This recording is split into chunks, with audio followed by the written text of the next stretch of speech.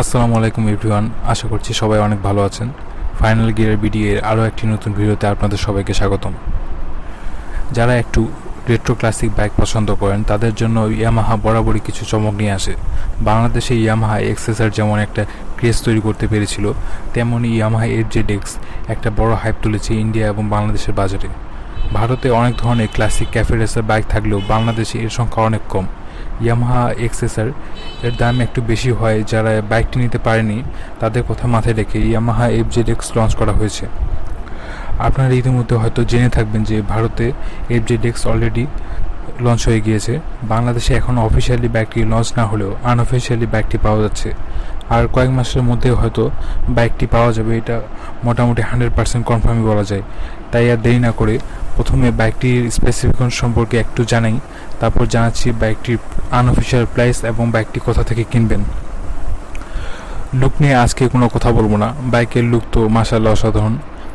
বাইকটিতে পাচ্ছেন একশো পঞ্চাশ CC single cylinder four stroke two valve air cooled engine ইঞ্জিনটির maximum power উৎপন্ন করে thirteen point two PS at eight thousand RPM R maximum top twelve point eight newton metre at six thousand RPM পাচ্ছেন five speed gear box top speed পাবেন একশো সাত kilometre পার আওয়ারের মতো।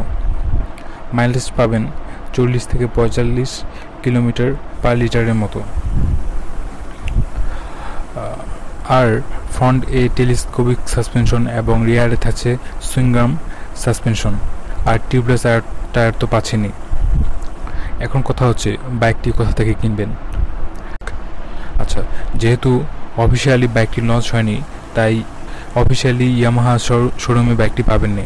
বাইকটি আপনারা ইভালি থেকে নিতে পারেন। ইভালিতে এখন পাওয়া যাচ্ছে কিনা বলতে পারছি না, তবে কয়েকদিন আগে ইভালিতে ছিল, এখন হয়তো স্টক শেষ। সামনে আসবে হয়তো আরও ইভালি থেকে কিনলে দাম একটু কম পড়বে, দুই লাখ চুয়াত্তরের মতো পড়বে। অথবা আরিজামার্ট নামে বাইক ডিলারশিপ আছে, সেখান থেকে কোচ নিয়ে বাইকটি নিতে পারেন। সেখানে দাম একটু বেশি পড়বে, তিন লাখ পঁচিশের মতো। আর অবশ্যই আমার একটা সাজেশন থাকবে আপনাদের জন্য। বাইকটি প্রি বুকিং করবেন না কিন্তু, কারণ স্টক অনেক অনেক কম এবং দাম অনেক বেশি। আপনারা তাদের শোরুমে গিয়ে বাইকটি থাকলে তা দেখে শুনে টেস্ট ড্রাইভ দিয়ে তারপর কিনবেন।